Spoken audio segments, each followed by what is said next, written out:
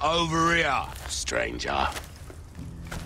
Hello and welcome to PlayStation Access. My name's Rosie, and I finished Resident Evil 4 Remake, a game where Leon S. Kennedy may have a terrible time, but you won't. Thanks to these expert tips we're about to give you, and the fact the game's brilliant. We'll cover how to find more money, making your ammo last, which weapons we favour, and how to unlock and use the trinkets you really want. Whether you're a seasoned Resi Pro or playing the series for the first time, we've got everything you need to ensure you get the most out of the game. If you're looking for something specific, we've got time codes in the text description. And if you find the video helpful, please click the thumbs up and subscribe to PlayStation Access for more videos like this. Take care of yourself, buddy. It's tricky to offer general tips about combat, as each encounter has an enemy mix of its own.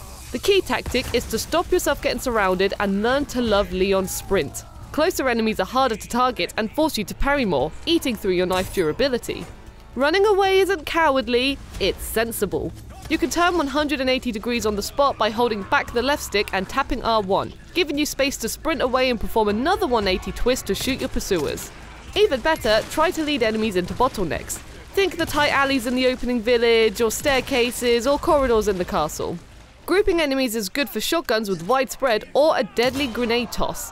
Another great choke point is vaulting through floor level windows or over fences. As enemies slowly climb over, you can land easy shots. When enemies are grouped, they're easier to scatter with one of Leon's melee attacks. Shoot an enemy in the knee to stagger them, and press X to send them and nearby buddies flying. The stagger and melee combo is a great way to conserve bullets, so familiarise yourself with it as early as possible. But one thing to note if you're too far from a staggered enemy, think twice about trying for a kick. You're more likely to run into the worst hug of your life. Outside of crowd control, certain monsters require special treatment. When you meet dogs, run away and force them to come to you. They normally group up and attack from tricky angles. They're faster than villagers, so a shotgun in close quarters is a good way to catch them out. Nekhel parasites are nasty up close, but can be killed instantly with flash grenades. Los Plagas are vulnerable to light. For basic parasites, a rifle shot gets the job done and saves your precious flashbangs. Keep those for when there are multiple parasites at once, especially the rooms with the red zealots who cause the parasite to awaken, or when you start meeting the stronger parasites with the four-way jaw. These guys eat bullets like I eat shreddies, so flash them away.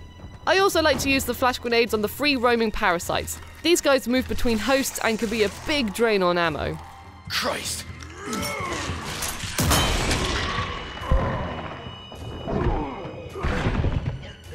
I mentioned the Red Zealots there. These guys make every fight 10 times harder as their chanting staggers Leon and erupts parasites from nearby monks. Make them a priority in any fight. They'll often hide on higher ground, so sniping them with a rifle or chucking a grenade their way is recommended. From the castle forward, you'll also get shielded enemies. Wooden shields can be easily shot, but for metal barriers, target their legs to trip and expose them for proper punishment. Leon also has to take on the Garradors in the castle. These clawed brutes are blind but find Leon by sound. With a weak spot on their back, the key is to crouch and sneak up to get a stab attack on them, avoiding any noisy chains. Once stabbed, move far away and crouch to give him some space to cool off before repeating. Later, you fight two at once. It's hard not to make noise as there are other enemies, but the Garradors will kill them for you. Once it's just you and the monsters, you can shoot the bells to draw them towards the noise, opening their backs for easy attacks. Finally, the Regenerators. Every bit as horrible as they were in 2005, but also every bit as susceptible to the attachable biosensor scope you collect in the systems room. The key to killing them is to hit glowing parasites inside their bodies. When the regenerator crawls on the floor, the parasites are harder to hit, so get some distance from them and wait for them to stand back up. Even better, take shots at them before they're properly activated. You can target sleeping regenerators in their tanks, and can also use the biosensor to spot them inside these sacks before they pop out for a surprise attack. And while we're talking biosensor, you can use it on any Ganados with a parasite head to see a weak spot for a quicker kill. What with bullets being as versatile as they are, so much of Resident Evil 4's challenge revolves around efficient ammo management. In combat, there are a couple of great tricks for stretching ammo further. The most crucial is letting enemies kill each other for you.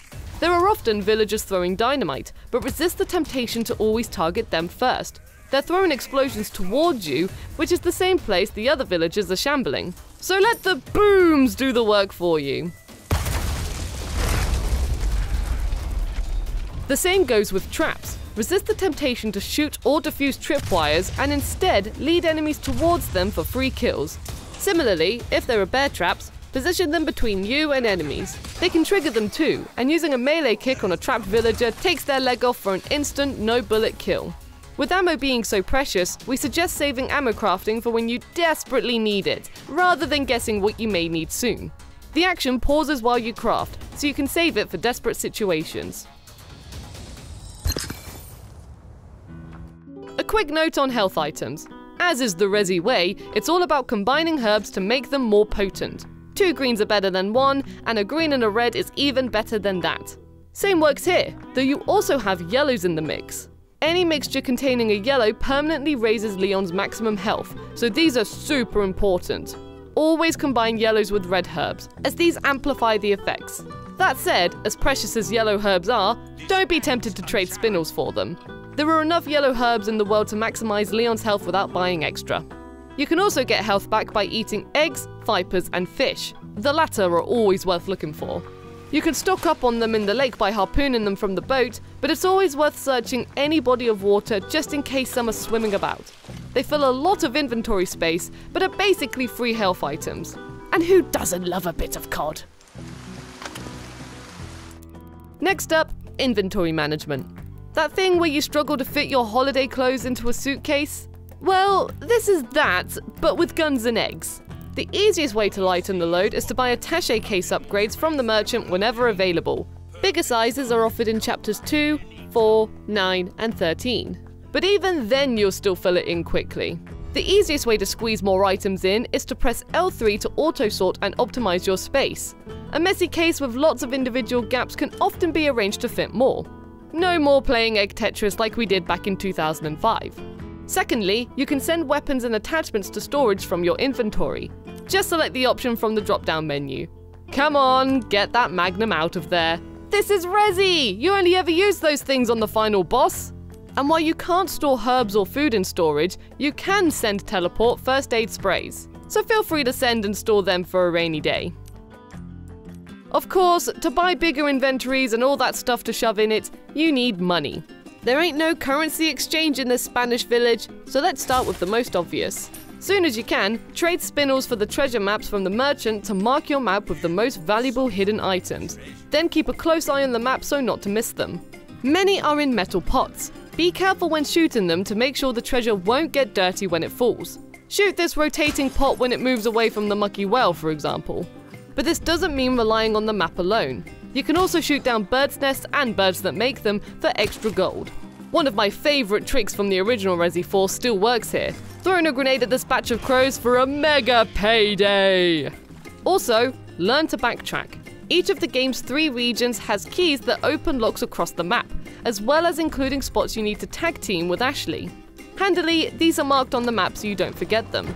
Trickier are locked drawers. Each uses one small key to unlock, which are harder to come by.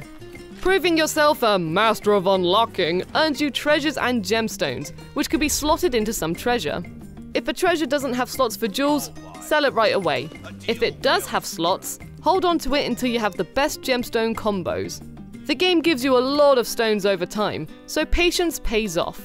On the in-lane treasure screen, you can press square to see how gem combos multiply the worth. But to really benefit, you want to form these patterns with the most expensive jewels you can. They're worth more as you move right to left.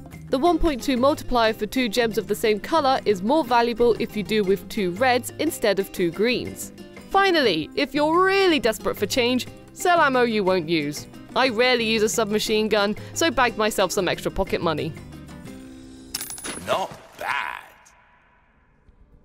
Let's talk about weapon upgrades. One big change in the remake is that selling an upgraded weapon to the merchant gets you back most of the money you put into it, making it less punishing to replace weapons. We recommend selling the W870 shotgun for the riot gun and the SRM1903 for the stingray. Those two will happily carry you to the end of the game. Pistols are trickier to call as they have very different behavior. Most Access members like the Red 9, which you can find after the Del Lago fight by sailing to the boat in the middle of the lake. Best of it, it's free. Though some of Access swear by the Punisher, as it penetrates multiple enemies at once. Its final upgrade boosts that to 5 times penetration, making it great at chewing through enemy groups. If it helps you, pressing square on the upgrade screen lets you compare stats, even seeing how its maximum stats will eventually stack up. That's what you're working towards, so it's worth bearing in mind. More upgrades appear the deeper you get into the story, so don't assume you've maxed a weapon out. Always see if the merchant can do more.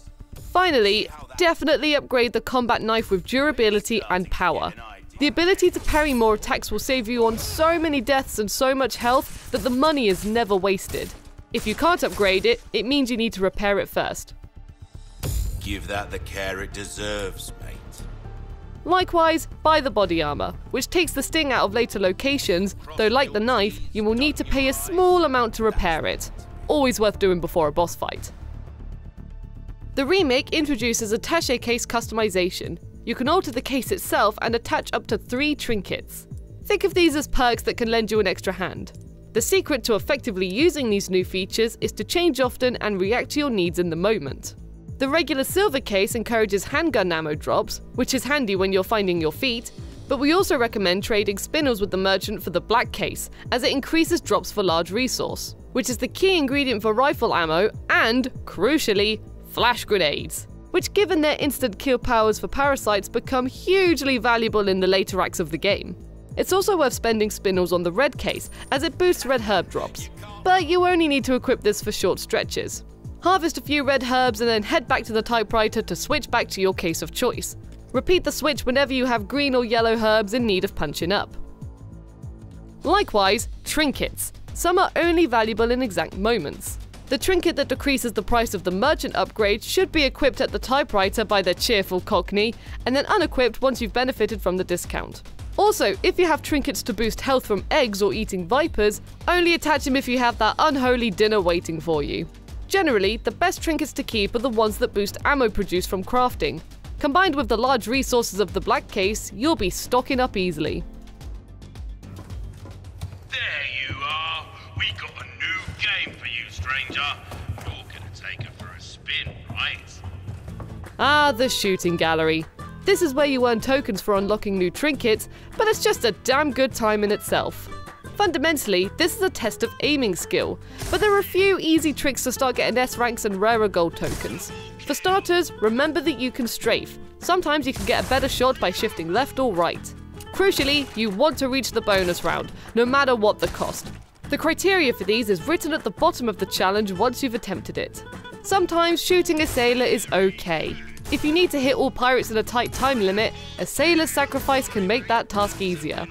When you do activate the bonus round, use the opening title to reload. In rounds with dual weapons, each gun is there for a specific task. The rifle shoots through multiple targets, so it's good for moving pirates who overlap. But when pirates are in front of sailors, you want the pistol to prevent accidental double kills.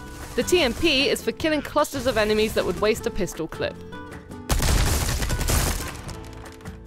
Here's the really important bit. Before you use your tokens, make sure to save at the typewriter. There will always be one outside the gallery by the merchant. This way you can reset if the trinket prize machine gives you something that isn't useful. It's not just the type of tokens that affect the prize you get out, but the order you put them in. A gold silver silver will unlock a different prize to a silver gold silver. So don't feel bad about reloading to try different combos until you get the best possible outcome for your current token haul.